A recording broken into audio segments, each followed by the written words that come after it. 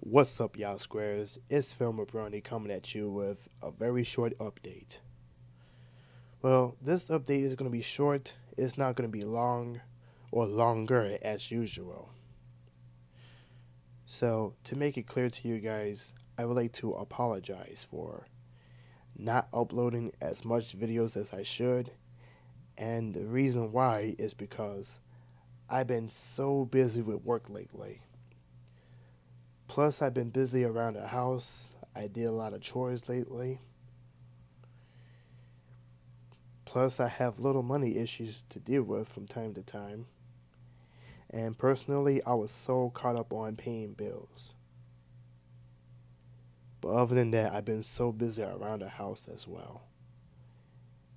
And I apologize for that. See, I wouldn't assume letting everyone down or letting myself down as usual because even if I did, I'm sorry for that too. So to make it up to you guys, I'm going to be doing my second half of my Q&A opening. And plus, I'll be doing one of my voice reels, just like I said in the introduction video I uploaded a while ago.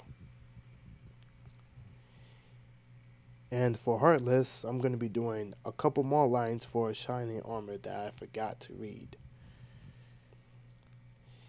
So for those of you guys who have been extremely patient and waiting for so long, I'd like to say thank you guys for your patience. And not to worry guys, there are more videos on the way.